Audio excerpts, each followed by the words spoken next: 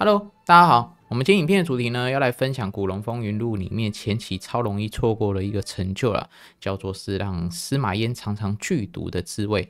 那这一个的话是悬赏任务，那而且是第一个是最简单的，大部分你可能在第一章、第二章就处理掉了。可是这个成就呢，老实讲，不多人解。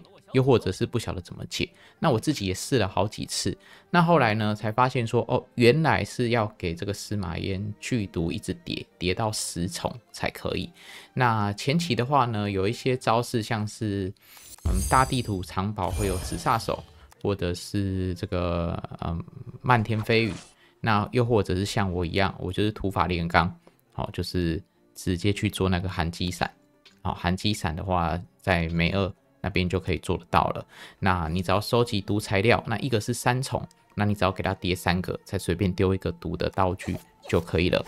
又或者是在八方客栈会有毒包子任务，好，你只要想办法，好，给它叠到十层，那他就会说妈的好毒，那之后再把它打死，这个成就就可以解了。那以上呢会附上我解的这个影片，那各位可以参考一下。如果你为了这个成就苦恼的话，也可以参考这部影片了。